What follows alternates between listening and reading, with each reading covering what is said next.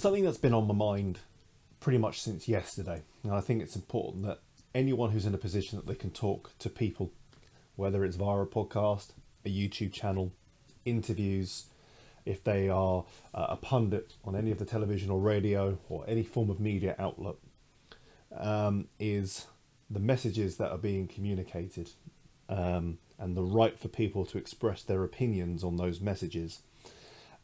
I find it unbelievable that FIFA, that has always communicated itself as a non political, um, non totalitarian type organization, is now feeling like it needs to inhibit uh, individuals' rights or abilities or freedoms to express an opinion or make a protest, especially if that protest is non violent, is passive by nature, and is merely an expression by way of whether they want to wear an armband or a type of shoelace or anything of that nature.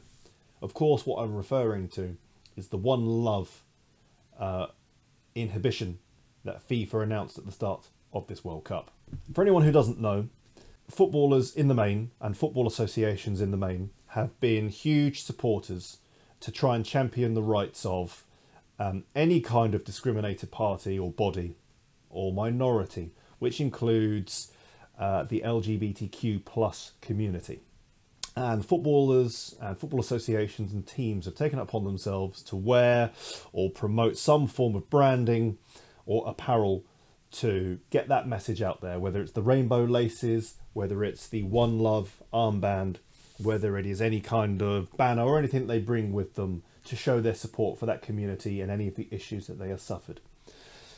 Earlier this year, a number of associations, which totaled seven, primarily across Europe, agreed that they would wear a, a One Love armband. Each captain would wear the One Love armband.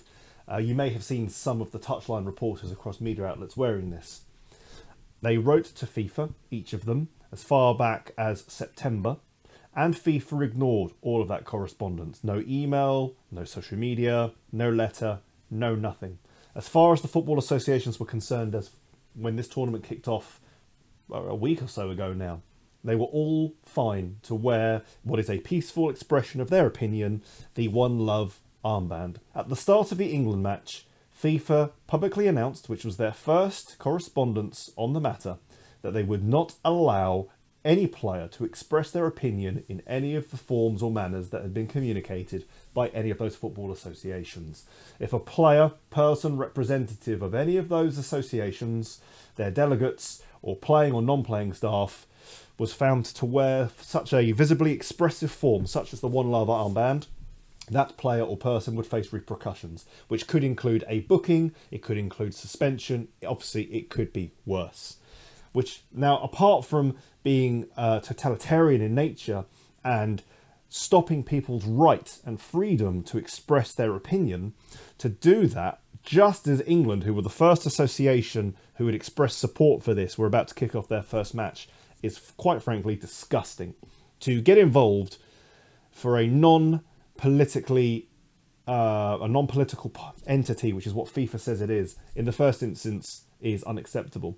And then to have ignored all of that communication across seven associations for two months, and only to express an opinion following by potential sanctions, punishments, when the first of those associations is about to kick off, is a joke.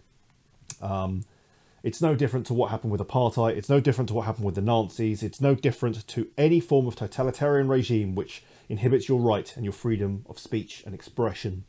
Now, FIFA had had the opportunity to communicate on this for two months. They chose not to do that. It was literally in the minutes before kickoff that it was announced, just before England kicked off against Iran, that none of those associations would be allowed to go forward with those protests unless they wanted to accept sanctions. It's appalling. However, I think a huge amount of credit needs to be given to the German association and the German players for the stand that they took. Now, a number of pundits have come down quite hard on the players to say, well, if you feel that strongly about the cause, take the punishment. It's a yellow card at most at the moment. Make your expression, do your protest like you did with taking the knee and all the rest of it.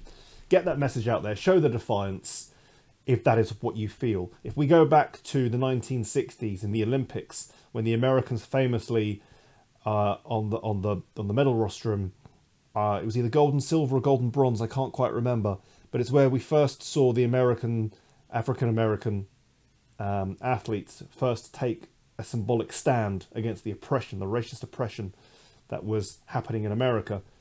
They did that in full awareness of the of the potential sanctions they might face. Um, I think that was 1968, if my memory serves.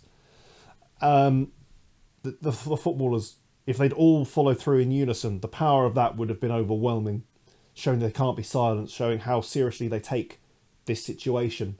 So I do feel a certain degree of agreement with that.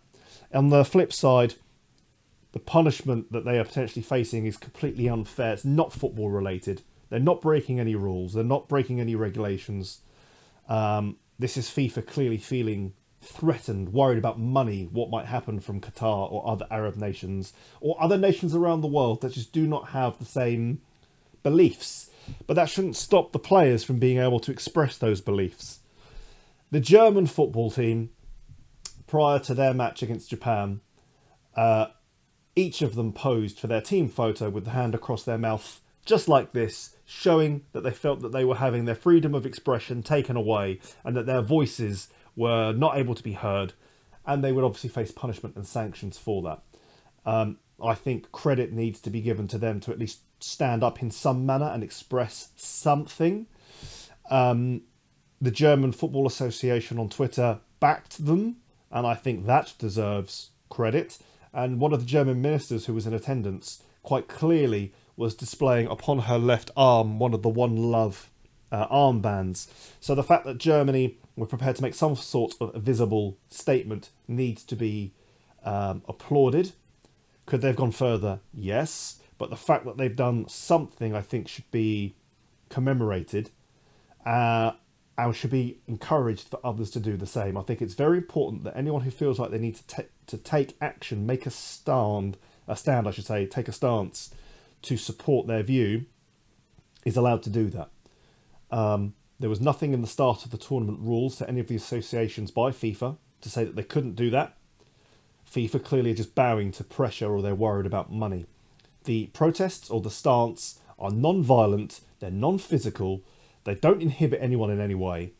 Um, by wearing the armbands or allowing rainbow laces or anything of that nature is no different to allowing the players to take the knee. Um, so I think the associations that signed up to this should do it anyway. And they should all do some form, whether it's standing and linking arms in the team photo or whatever it is they want to do. But we should applaud and encourage the other associations to stand up, just like the Germans, so they're not on their own. And if you want to get a message across, get your message across. But I also think the Germans should have respect put on them for standing up, the only one so far to do that, and at least showing something that they're prepared to get that message across. And I think over the course of this tournament, if anyone wants to shout out about any issue or any opinion or any cause, then they should be able to do that free of judgment. And that's the whole point of AdzCast. This is a place where people can um, discuss and debate and air your views and your opinions without judgment. And I think the Germans have done a great first step, and the other associations should follow suit.